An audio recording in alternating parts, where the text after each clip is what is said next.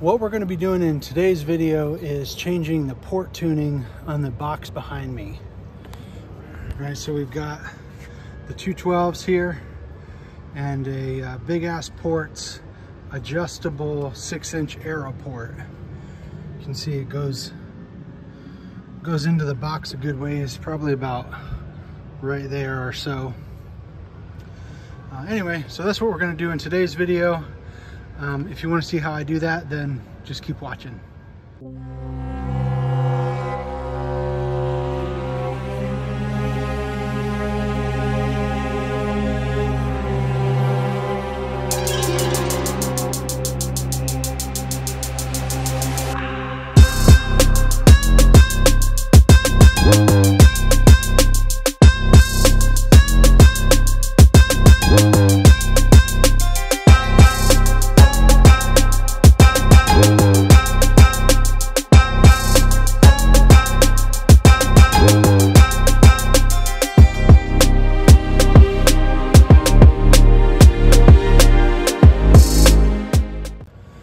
So why am I doing this? For one, well, because I really like them low lows, you know. I like to move air. I like to, you know, get a little nasty with it. And this box gets really loud in the like 35 to 40 hertz range. Um, but once I start dipping into the 20s, like 26, 25, it really starts falling off a lot. And if I try to play anything lower than that, the subs will start bottoming out, even at low volume. Uh, and I don't like that. I like to play, I like to play in the 20s. I like to play bass modified music, you know, all that stuff. So that's why we're doing this. Um, right now, the box is just a little shy of three cubic feet. I know that's a little small for these subs, but as you can see, the only way to go any bigger would be to delete the back seat and I got work and got to carry around kids, so that's not an option. So this box right now is tuned to about 33 hertz, 34 hertz and I just used a simple uh, port length calculator to figure that out. This is the max length of this six inch aero port. This is the whole length of the, the big ass port sends you. And I'd really like to tune it to about mm, 28, somewhere in there. And so as you can see, what I did was I bought another one. I bought another six inch port with the adjustable segments in it. That way I can use the segments from this port and just add them, just add them to the port I already have. Now, we, we're gonna have to get it close to about 30 inches long, uh, you know, based on that calculator. Uh, and, well, let me show you this. So big ass ports send you this sheet, right? So we got the 10 inch port, the 8 inch, and then the 6 inch. So if you use every length that they give you, the 7 inch, the 4 inch, the 2 inch, and the 1 inch, you end up with about 20 inches, 20 and a half. And so I'm gonna have to add another 10 inches to this port. I don't even know if I'm gonna be able to do that, but I'm just gonna disassemble that port and we'll add some links in and just see how long we can make it and see if we can at least get somewhere in the 27, 28 hertz port tuning length range or as close to that as we can get, at least somewhere under 30 hertz. That way I could dip into the 20s a little bit on my music. So let me get this other port, uh, port pulled apart and then I'll bring you guys back. Okay, so as you can see, I got this port pulled apart. I had to pull off all my stickers. It's all right, I can always get more stickers. But anyway, You can see I always hold these joints together with just this aluminum tape. Uh, so I just pulled the tape off and uh, pulled this, you know, this was sitting right there like that. Okay, well what we're gonna do is we're gonna add this four inch link here to the top. There we go, and then, okay. So we just made the port four inches longer. Now, based on my calculations with the port length calculator, just that adding that piece alone brings us to about 32 hertz. Now, I wanted to add the seven piece, the seven inch piece on there, but let me show you why I didn't do that. See, the door is shut now. And we are almost hitting the back glass. If I would have brought that up any taller, for one, we would, we'd hit the glass back here and then we would just, it would just be too tall, right? Like we wouldn't have any, I just, I wouldn't have any room, you know? Like I can barely fit my fingers back there and that's about it. So that's as tall as we're gonna be able to go on the top. And then we might be able to add another link down there in the bottom. Not much of one though. Maybe that one inch piece. I don't know, we'll have to see. But we're tuned to about 32 Hertz right now. So, you know, that's, that's something. That's at least moving in the right direction. Okay guys, quick little update. Um, let me show you the port as it is right now.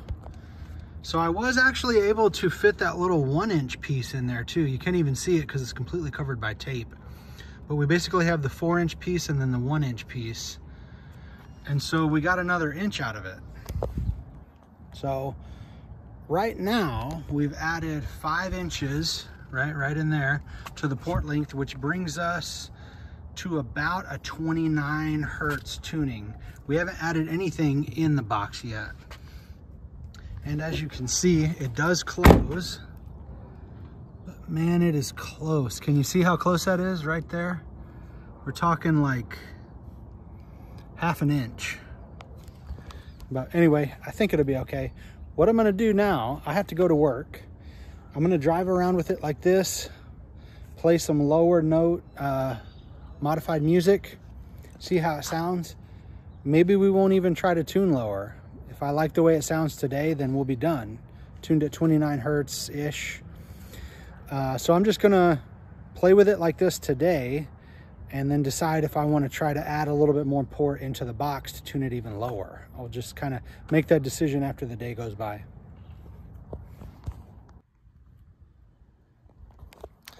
Okay guys, well I've been driving around most of the day with it tuned what did we decide it was tuned at? Maybe 30 hertz, something like that. Sounds good. It sounds better. It will definitely dip into the 20s a little bit. Still gets a little out of control and loses a lot of output on the really like low, low note songs. But again, right, like I'm asking a lot of my system to do something like that.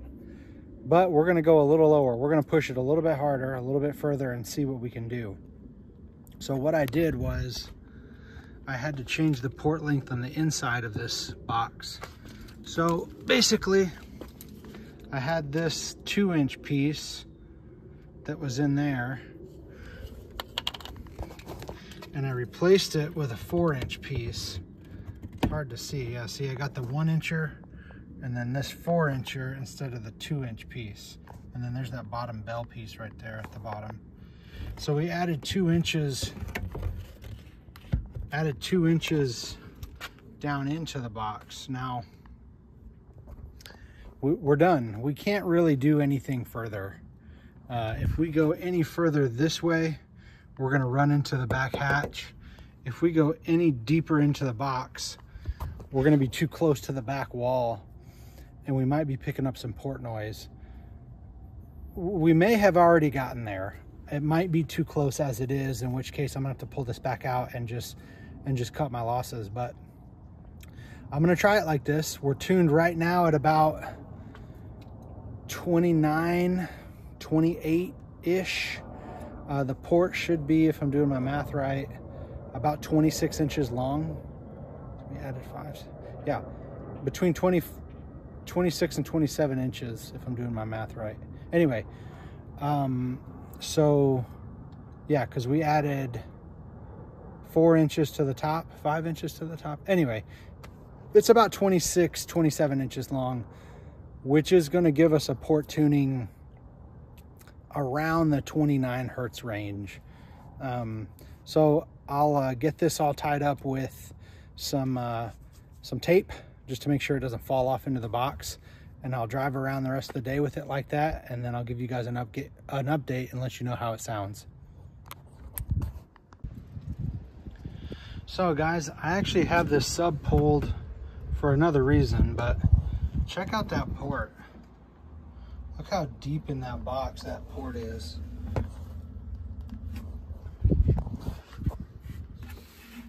I mean, we're about an inch and a half off the back there.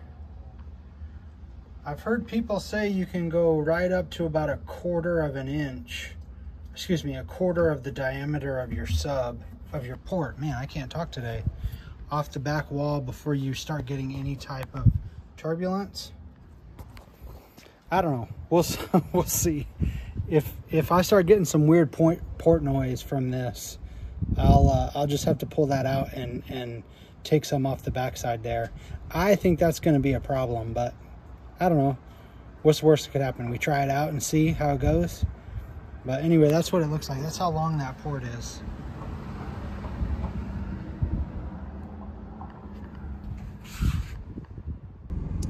All right, guys. So uh, update on the port length uh, tuning change. We're tuned somewhere below 20 hertz. Excuse me, not 20 hertz, somewhere below 30 hertz. We're tuned in the 20s. 29, 28, somewhere in there, something like that. I've been driving around like this for about a week. Uh, this thing digs pretty deep now. Um, I'm happy with the change surprisingly, I'm not getting any weird port noise or anything. I really thought I would be. Uh, that port is about an inch and a half off the back wall of that sub box. Doesn't seem to be affecting it negatively, uh, which surprises me. But like I said before, I've read some forums that you you only have to be about a quarter of the diameter of your port, which for a six inch port, six would be, uh, two inches would be 33%. So somewhere under two inches, which that seems hard for me to believe, but I'm not getting any port noise out of mine. So I guess it's true. Um, anyway, tuned to about 28 Hertz and I love the way this thing sounds. It hits the low notes really well, digs into the 20s, no problem. Um, so anyway, without further ado, let me show you guys how this thing is performing.